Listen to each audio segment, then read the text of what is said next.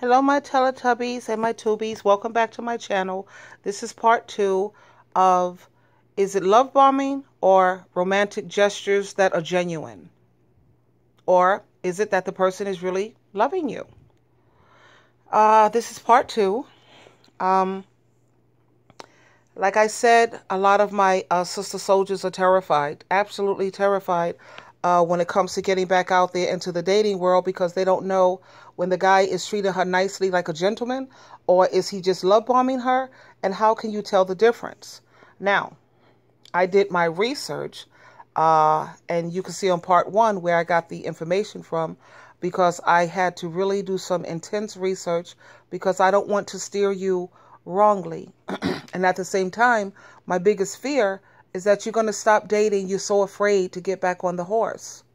And like I said in part one, if you think for one iota of a moment that your ex narc is sitting at home twirling his thumbs, uh, sitting alone, that's not happening. Your ex narc is not going to work, coming straight home, doing no, no, no, no, no. So you get back on the horse. Now, and of course, it can be super tricky to determine if your partner is love bombing you or is merely a hopeless romantic. So, what you're going to have to do is you're going to have to try and read between the lines in the meantime.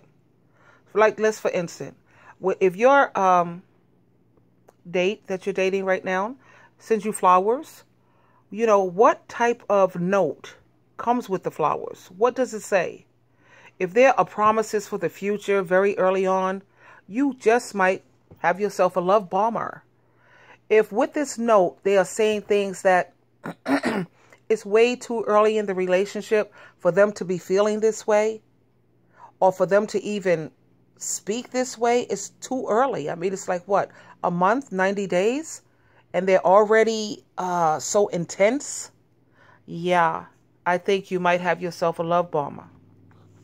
Then you also have to think about the constant communication in that blissful, you know how it is, that getting to know each other stage.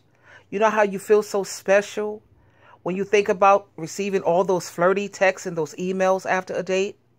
But the difference is with a love bomber, they cross the lines. They go into obsessive, constant communication. Now, with today's technology, it makes it very easy because there are so many ways to reach out to someone and receive an instant response. If there's a way to reach you, the love bomber will figure it out. Calling you, texting you, emailing you, whatever, sending a pigeon, whatever. They will want to know what you're up to at all times, which can easily be confused in the beginning of a relationship. You feel, wow, this feels so great. They're so interested in me. Those are the type of vibes that you get. They'll do whatever it takes to keep your attention focused on them. That in itself should sound off an alarm bell in your head. Now let's think about what's a love bomber's end game. What are they really after? The thing about love bombing is that it doesn't last forever, as you and I know.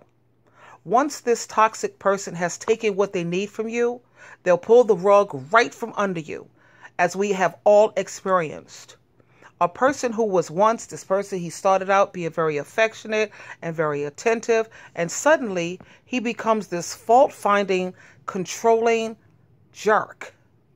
Now, experts, this is what they call it. They say that shift is called the devaluation phase. It's a classic bait and switch. Now, in the beginning, you remember how they seem to be doing all the giving until you realize all of a sudden you're doing all the giving. And they have used you for your body, your wallet, your home, your caretaking ability, and your empathy. So you keep in mind the difference between love bombing and genuine love. It's all about the timing and how fast things are moving. And please, please, for the life of you, do not be afraid to get back on that horse because I'm out there dating. I am dating, honey. And I'm having the time of my life. I'm having new experiences. I meet some who are keepers and some who are throwbacks. Please, you always have a choice. Choose wisely. And don't let these narcissists you know, take your life away from you. They are back on the horse. They're out there dating and they're not afraid. You have your Heavenly Father looking out for you and your Lord and Savior Jesus Christ. I'll talk to you later. Bye for now.